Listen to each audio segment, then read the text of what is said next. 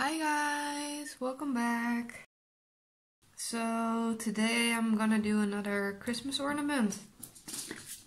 And I'm gonna use my leftover paints. And I wanted to see what would happen if I just dripped it on.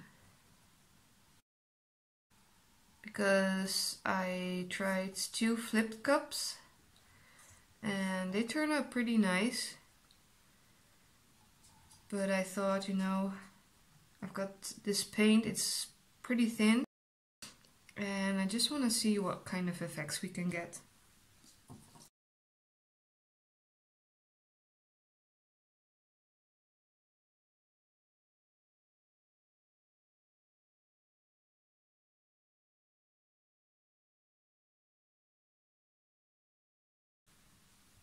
I like the way the top looks, but as you can see my bottom isn't fully covered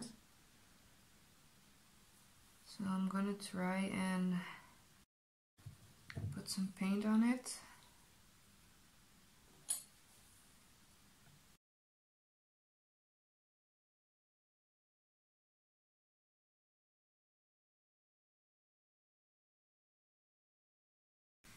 Let's strip some more from the top.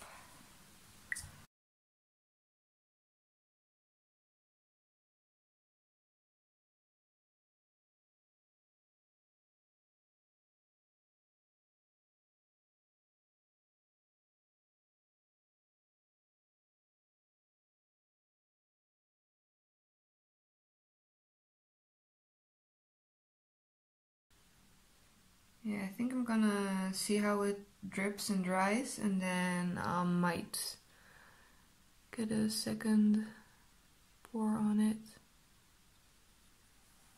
So bye guys, see you later.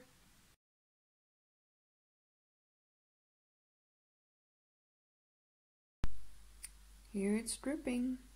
I added a little bit more gold. Some blue, some purple, just because I thought it was just a little bit too plain. And I'm gonna let it drip and then I'm gonna let it dry and then decide if I want to do a another layer or if I'm just gonna to embellish it a little bit, uh, make it look like snow on top. I'm not sure about it, but we'll see. Bye guys!